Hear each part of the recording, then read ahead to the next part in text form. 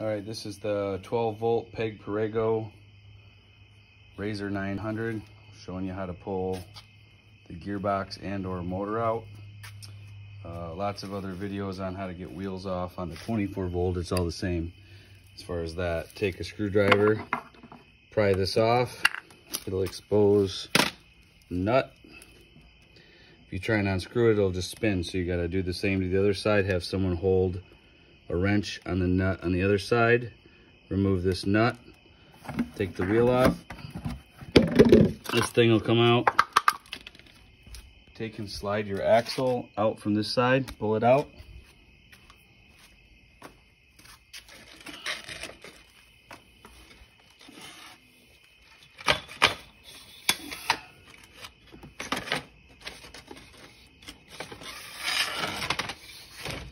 Then you take the two screws, take the seat off, that's exposed. Now this still won't want to come out. There's a tab, pretty hard to see. There's a tab right here. See my finger is just touching it right there. Push down on that tab and over. And out comes a block on the bottom, which I was trying to cut out to see what it was. Well, anyway, comes out the bottom. The axle goes through it.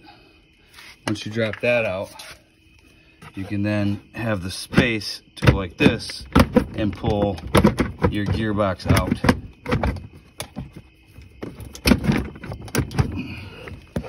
Hard to do with one hand here.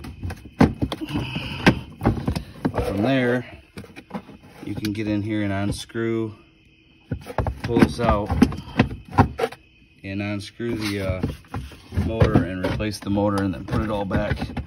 I can't get it out with one hand and video in, but that's the idea.